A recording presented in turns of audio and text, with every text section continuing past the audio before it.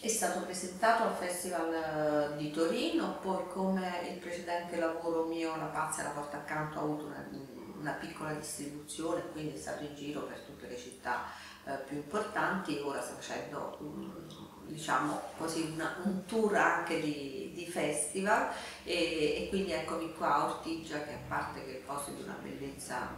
fantastica eh, e poi come sempre da una parte porto questo documentario che ci tengo molto che la gente veda perché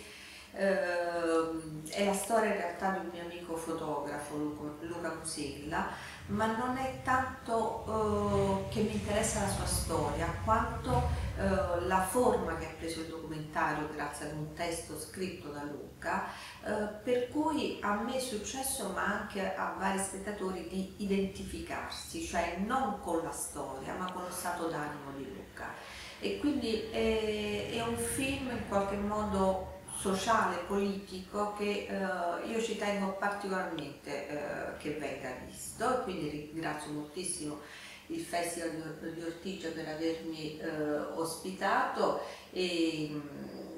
e, niente, poi siamo a Santa Marinella, poi siamo, insomma girerò un po' perché ormai anche i festival rappresentano una piccola grande distribuzione per quelli che sono eh, diciamo i fuori formato mm, che però anche curiosamente trovano uno spazio distributivo. Dico questo perché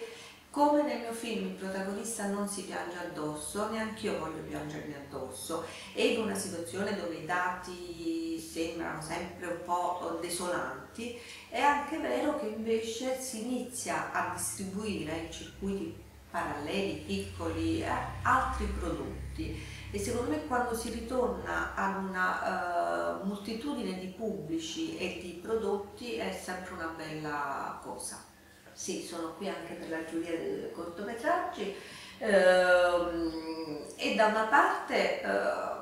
perché anche questo, essendo una persona un po' che ha un po' di storia dietro le spalle, mi capita di, eh, sono stata a Corte di Donna, insomma di, di di portare in giro il documentario e di essere anche uno sguardo verso oh, diciamo cortometraggi, documentari eccetera.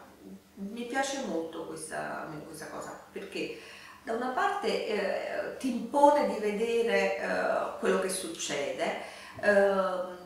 dall'altra parte ti pone in una situazione di essere, eh, di giudicare, quindi di giudicare ehm, con consapevolezza, mentre giudici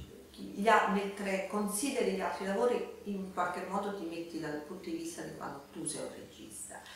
In particolare qui a Ortigia sono per uh, il, il, concorso dei cortometraggi che credo che sia veramente il prodotto più difficile da fare, cioè uh, la vita uh, è sempre un po' paradossale, si chiede ai giovani registi prima di fare un lungometraggio, di fare un documentario, di confrontarsi col cortometraggio, pensando che il cortometraggio sia la cosa più semplice del mondo. A mio avviso è uh, diciamo, il prodotto più difficile, più difficile perché è difficile sviluppare una drammaturgia, un sentimento e quindi a volte ti trovi di fronte a delle cose che vorrebbero ma non riescono. Detto questo ancora eh, non lo dico rispetto alla selezione di Ortigia che devo iniziare ancora a vederli e che comunque anche qui con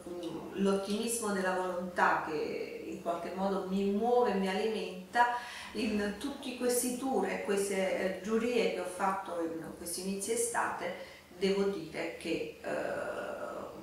il cinema sommerso, giovane, insomma non ancora eh, conosciuto al pubblico, in questo momento è molto interessante, si muove in maniera autonoma e variegata.